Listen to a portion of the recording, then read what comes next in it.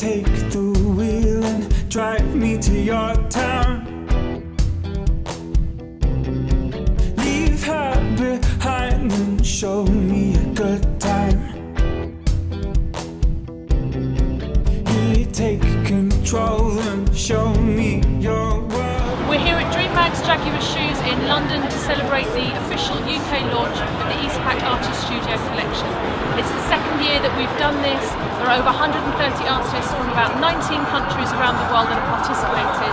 All the bags go on sale on our website as of the 19th of March, with proceeds going to Designers Against AIDS.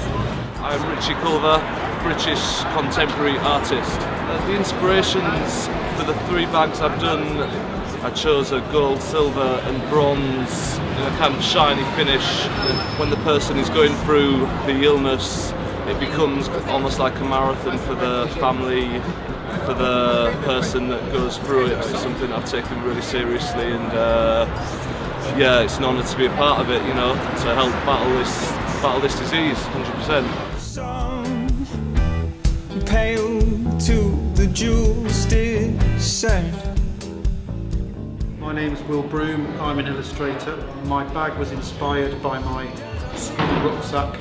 At school everyone drew on their rucksacks, stuck stickers on them, sewed badges on them, pin badges on them. So I just thought about that rucksack really. I wanted it to be very sort of absent-minded, very sort of easy. So that's what I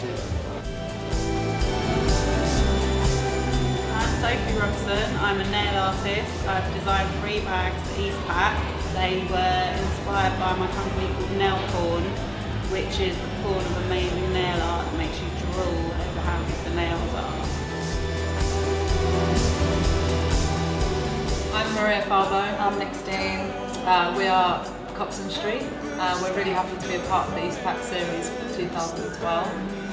Uh, the inspiration for our bags was kind of like East Coast, West Coast, um, so like tropical living versus the New York gritty punk scene. It was just fun creating and being a part of it. I'm Charlie Bowden. Um, I'm an artist or designer. The inspiration for the bags, I guess you'd say, was the idea of suspect packages. Um, I'll leave it at you to decide any more than that. Um, but it's really nice to be involved with the East Eastpak Artist Studio project and doing for charity.